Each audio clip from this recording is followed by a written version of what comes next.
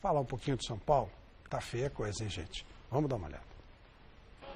No Novelli Júnior, Caleri recebeu de Thiago Mendes e cruzou rasteiro para Paulo Henrique Ganso completar com categoria e fazer São Paulo 1 e Ituano 0. Mas aos 44 do segundo tempo, Léo subiu mais alto que toda a defesa são paulina e deixou tudo igual. 1 a 1 placar final. Com este empate frente ao Ituano, o São Paulo completou cinco jogos sem nenhuma vitória. Nas últimas cinco partidas, foram duas derrotas e três empates. E claro que esta situação está preocupando o técnico tricolor. Obviamente que me preocupa, eh, porque São Paulo tem uma história que le obliga a, a, sacar buenos resultados. Y obviamente que me preocupa. Estamos tratando de, de hacer todo lo posible para que el equipo mejore y poder clasificar. El equipo es un buen partido para ganarlo. Eh, creo que pudimos controlarlo al, al equipo rival. Y bueno, en la última jugada hay una distracción, no, no, no costó el empate, pero eh, hoy el, el, equipo yo creo que hizo un partido para ganarlo. Mire, soy una persona optimista por naturaleza, así que no trabajaría de esto si no pensaría que voy a ganar todos los partidos. Así que eh, yo pienso que vamos a, a, clasificar en la Libertadores y que vamos a llegar a la final de, del Paulista. Miller, São Paulo viveu momentos brilhantes com você. Hoje a coisa tá brava pra caramba. Não fosse a Ferroviário, São Bernardo de novo, né? São Bernardo, a semana passada, já ajudou o São Paulo fazendo um gol no último minuto. E hoje terminou 2 a 0 2 a 0 2 a 0 né? Ajudou de novo o São Paulo. Em Ferroviária, né? Em Ferroviária. Ferroviária tá, parece que a coisa tá, tá, tá dando uma virada lá. O português tá, tá tendo alguma dificuldade. Mas de qualquer maneira, o São Paulo tá vacilando demais. O líder do grupo é o Aldax. O São Paulo não está jogando nada, independentemente da Ferroviária ou do Aldax, o São Paulo não está jogando absolutamente nada. A coisa tá feia. Conseguiu empatar com um time de várzea lá da, da, da, da Venezuela jogando um futebolzinho desse tamanho. E a gente que viu você jogando tanta bola em tantos times, de São Paulo, de maneira brilhante, em duas oportunidades. E aí, Milo, o que está acontecendo? Ah, Flávio, eu acho que quando um, clube contrata mal, a gente vê os frutos negativos dentro de campo, né? Acho que nem, nem dá para dizer, criticar o Centurião, que para mim ele é tudo, menos jogador.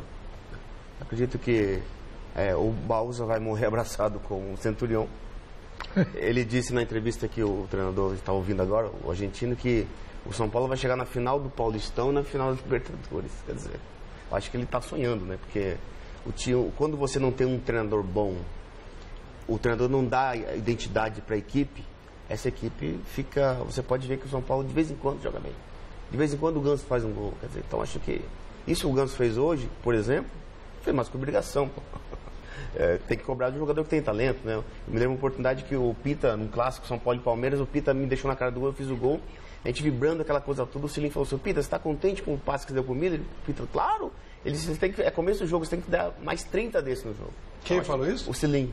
Você tem que dar mais 30 passes desses no jogo, que tá, está apenas começando a partida. Então, se, se você vê um time do São Paulo que em três jogos de Libertadores fez dois gols, quer dizer, perde para um time The Strongest, que é um time horrível. Perdeu aqui no Pacaembu. E sem falar desse time venezuela, que para mim nem é time, né? Porque, pô, lá é o terceiro esporte do futebol na, na Venezuela.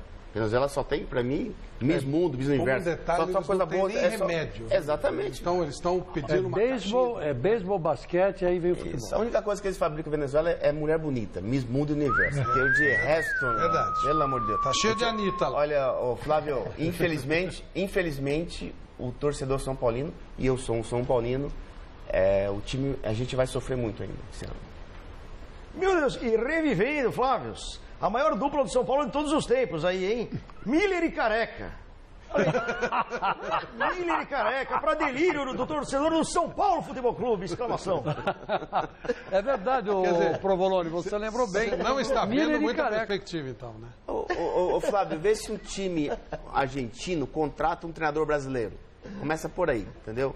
Então, acho que o treinador estrangeiro não dá certo no nosso país. Principalmente, olha, olha que o Passarela passou no Corinthians em 2005. O Corinthians tinha um timaço.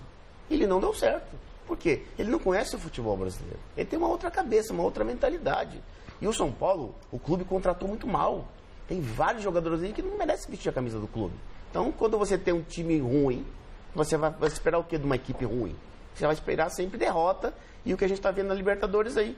O time do São Paulo joga o jogo agora de volta. O time Venezuela em casa, se não vencer, pelo amor de Deus. Quais aí, não Godoy, merecem problema- vestir a, a, a desculpa, Flávio, a camisa do São Paulo, Miller, você acha? O Rogério, atacante. Centurião nem se fala. O, o Hudson lá. São jogadores que não merecem vestir a camisa do São Paulo. Ô, Godoy, e aí? É- é o time é muito ruim, o técnico não serve. O que, que você acha disso que o Miller está falando? Você concorda, discorda? Não, concordo. O time é ruim, é fraco individualmente, mas às vezes um trabalho bem feito, você conseguindo unir o grupo fraco individualmente, você consegue fazer um grupo forte. Ah, não podemos esquecer de citar sempre como exemplo de trabalho bem sucedido o trabalho do Marcelo, Marcelo Oliveira, por onde ele passou, exceto o Vasco da Gama. Ele chegou à final de Copa do Brasil com o Curitiba, ah, mas o sistema de campeonato é outro. Mas veja quem jogava no Curitiba. Foi bicampeão brasileiro com o Cruzeiro e aqueles jogadores no Cruzeiro que depois se valorizaram, é, aqueles jogadores passaram por um monte de clube e chegaram no Cruzeiro como jogadores que não deram certo por grandes clubes do Brasil, né, considerados grandes clubes. Então, é possível, quando um trabalho é bem feito coletivamente, você ter um resultado bom. O São Paulo não consegue ser nem bom individualmente, nem coletivamente. tá? E isso eh, reflete dentro do gramado aquilo que é feito administrativamente, tecnicamente, taticamente e individualmente. O ambiente não é legal. Você vê no campo o comportamento dos jogadores entre si, que você percebe que não é legal. Jogador que entra em campo insatisfeito, com a condição de substituto. O cara que é substituto é para resolver o problema que, que que até então não está sendo feito ou não está sendo resolvido. E aí esse substituto entra insatisfeito. né? Jogadores que começaram numa- com uma certa qualidade individual e que agora está péssimo. O que, que é? Fora do campo. Porque dentro do campo, se você continua fazendo as mesmas coisas dentro do campo, o resultado é o mesmo, vai dar certo. Se não está dando certo, é porque fora do campo está sendo. O comportamento está diferente fora do campo. Aí tem essa relação da torcida, imbecil, parte dela, ou ela, ou quem, torcedor, imbecil com um dos melhores jogadores. Quer dizer, a hora que precisa apoiar, tá certo, vamos lá, o cara não vale nada, não presta, bababá, isso e aquilo, mas, pô, como jogador nós precisamos dele, o time precisa dele, então ele, tem, ele precisa resolver para nós é como jogador, não interessa como homem. Né? E até Está falando isso, do caso do Michel Bastos. eu não, eu não citaria o nome do Michel Bastos, mas esse tipo de comportamento de torcedor criticar um jogador que tecnicamente ajuda, reforça a equipe, independentemente de nomes. Né? nós já vimos isso do São no Paulo já tirou o Michel Bastos, já tirou o. Michael, já Então, tirou o Lucão. Só que os caras, os caras dão. Quem mais? Casemiro. Pois é. E, E vaiaram o Kaká. Kaká, vai, Pois é, vai, só, que, a- só que a direção dá respaldo a esse tipo de gente. Ah, né? Então, Esse comportamento é imbecil, cara. Eu, eu preciso do cara, eu preciso do jogador com essa qualidade para resolver. Então, vamos pegar. Se o cara é, não vale nada como cidadão, eu quero é que ele resolva no Que não é campo. nem o que você tá dizendo, Ele está tá- resolvendo no campo, que se dano que ele faz lá fora. Agora, Mas- não, mas o Godoy no- tá certo, No o- São Paulo, Flávio. não, não temos que não resolve nem dentro nem fora. O Godoy tá certo. O, o Michel Bastos é o melhor jogador do São Paulo. sem dúvida. Tecnicamente e taticamente também, porque ele tem uma força física muito Sem privilegiada. Então ele, ele corre na direção certa, faz gols e foi vaiado pela torcida injustamente. Olha, o Casemiro que foi citado aqui foi aplaudido, né? Que saiu o Rames Rodrigues, entrou o Casemiro e ele foi aplaudido, está fazendo sucesso no Real Madrid. no meio de semana. É, bacana, mas eu só queria fazer uma observação aqui, um contraponto. É, quando não funciona com o técnico A, B, C, D, e aí vai embora o abecedário todo, o problema é do técnico ou o problema é, é, são os jogadores? Tudo bem, diretoria não é dos sonhos, a gente sabe tudo isso, a gente já sabe, todo mundo con- concorda. Não tem... Quero saber o seguinte: com bola rolando, o técnico sai um, dois, três, quatro e, e- e o negócio não anda. E os técnicos continuam sendo demitidos. Não estão sendo demitidas as pessoas erradas? Não. Mas, não, Eu- eu- não. Sabe o que acontece? Me Pois não, permita, pois não, permita não, entrar nessa, nesse negócio aí que eu acho bem interessante. O São Paulo começa errado de cima. Ok. Presidência, toda essa estrutura política do São Paulo e administrativa que vem sendo mal gerida desde o início lá com a entrada do, do Coronel Juju, do Juvenal Juvencio, que constituiu um conselho que lhe disse só amém e que serviu para que permitiu que ele fizesse as maiores barbaridades dirigindo São Paulo, seguido dos seus sucessores, por ele, inclusive feitos. Né? O Carlos Miguel e agora o Leco. Bom, é, essa é a questão fora do campo que se reflete no campo. O Juvenal Juvencio, por exemplo, trocou 10 treinadores e chegou num ponto em que ele declarou o seguinte: Olha, eu já troquei tanto treinador que agora não troco mais treinador, eu troco o time. E trocou. Há dois anos, o São Paulo contratou 11 jogadores, dois, três anos atrás. 11 jogadores. Desses 11, se ficaram um ou dois, foi muito. né? Então, é troca de treinador e troca de time também. Não é de hoje que o São Paulo está. Não é por causa desse time especificamente de São Paulo que ele está mal. Ele está mal há muitos anos. Com vários times, com vários treinadores. Agora, com relação à questão do treinador estrangeiro, é preciso deixar claro o seguinte: eu não sou contra estrangeiro, não, desde que seja competente. Desde que venha para mudar alguma coisa, para acrescentar algo mais. né?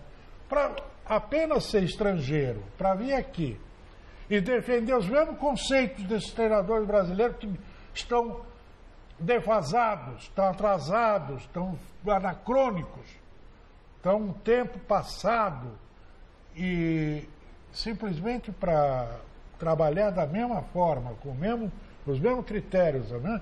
e sem conhecer o futebol daqui, sem conhecer os jogadores daqui, sem saber se comunicar devidamente com eles, porque nossos jogadores não são nenhum luminares, e muito menos para falar e entender espanhol, e tal, embora seja uma língua muito próxima. É, tudo isso junto é que cria esse clima todo, né, malsão, esse clima que não leva, que só faz com que a própria torcida, que é absolutamente irresponsável, ela vá botando para fora os melhores jogadores que o time tem. Ô Flávio, o mínimo que um treinador tem que fazer é dar padrão de jogo para a equipe. É uma Exatamente. frase muito conhecida, porém é verdade. Agora, esse treinador, ele teve tempo na pré-temporada, ele fez a pré-temporada com o São Paulo. Entendeu? Então ele teve um tempo para dar um padrão para a equipe. E você não vê o São, você não vê o São Paulo com um padrão de jogo definido. Assim como o Corinthians e o Santos. Você não vê o São Paulo com esse padrão. Agora, o que, que ele fez em um mês, dois meses treinando o São Paulo? Se ele não dá um padrão, de, o que é o mínimo que o treinador tem que fazer, pelo amor de Deus. Mas o Ganso, o Ganso tá jogando bem, ninguém falará. Olha, o Godoy metia a boca no Ganso. Metia, sempre, sempre metia a boca no Ganso. Tinha muita gente que reclamava aqui. Ah, que É verdade, eu não. é verdade, Metia lembrou o bem. pau Ah, no ó, Ganso. que- Segurava ou não seguraria o Ganso? Eu São Paulo? me- Olha aqui, o pau no o, O que que tá se JR passando? Diogo Guerreiros deixou a, a, a vice-presidente de futebol de São Paulo. maluco. Ele, uma das razões é que a, a tal torcida uniformizada estava ameaçando invadir o Conselho Deliberativo de São Paulo. Olha que ponto chegamos, É. impressão, por pressão em cima dele. Assumiu o senhor Luiz Cunha, que eu não conheço direito, eu tive contato com ele uma vez quando eu fui fazer uma visita ao CT de São Paulo com os alunos. Ele era lá do CT de São Paulo, da base.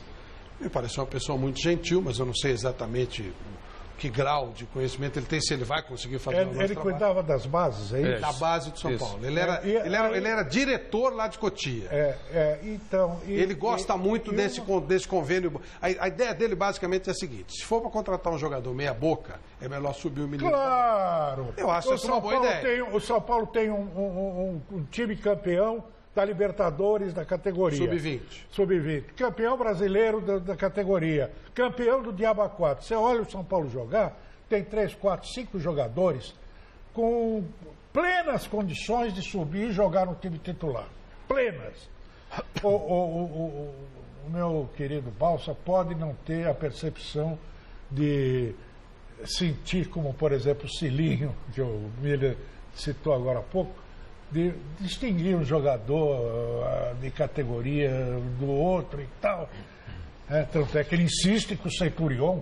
É impossível quem vê, quem vê o Centurion jogar durante um ano e não acerta um passe, um centro, um drible, não dá para Não admitir consta que ele o cara- tivesse nada com aquelas, aquelas coisas mal explicadas que tinha lá. Não, não, senhor, estou dizendo só citando do, do, do, senhor- do novo diretor. É. Não consta que ele tivesse nada com aquelas coisas que tinham lá Ah, mal sim. explicadas e tal. Então, ó, boa sorte para ele. Tomara jeito, que ele aqui. seja, que ele seja, né, que ele tenha sucesso. Agora, só, Tomara. uma- só para terminar, quando você puxa o, o jogador do- de baixo, o Miller pode dizer isso, porque ele viveu essa experiência.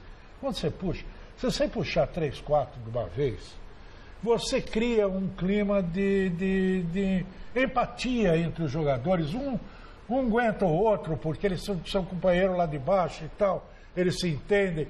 Fica mais fácil para você fazer com que esse jogador se transforme num Mas jogador. olha, Helena, precisa parar o clima de trairagem lá.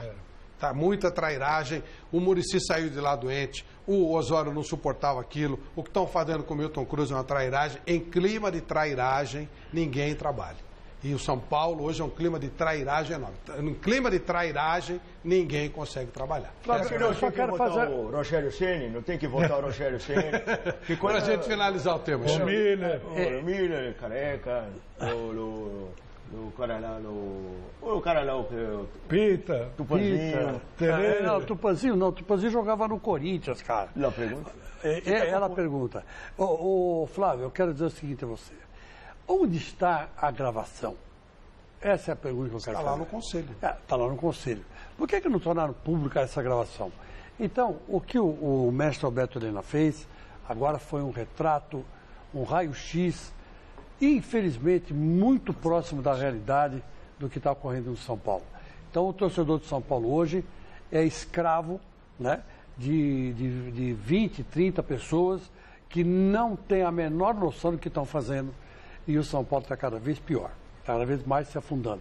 Não passa nem de longe a esperança de vencer três jogos na Libertadores contra três times razoáveis. Razoáveis. Não passa essa O confiança. Trujillo não é razoável. Não é razoável. Não é, É, nem não, é time, ruim. como disse o É Miller. Nem time É, ele é. é ruim. O The Strongest é, o The Strongest é nota 2. É nota o, dois. Tru- o Trujillo não é Mas time. E o. River é razoável. É, o só, Strong é só Inclusive, cima. apesar da, da tradição que tem lá na Não, terra é do. tradição. do- é, é, é, é um time, é um time Não razoável. esqueça que tem um pacto. É um time razoável. É, o pacto. Eu vi o pacto.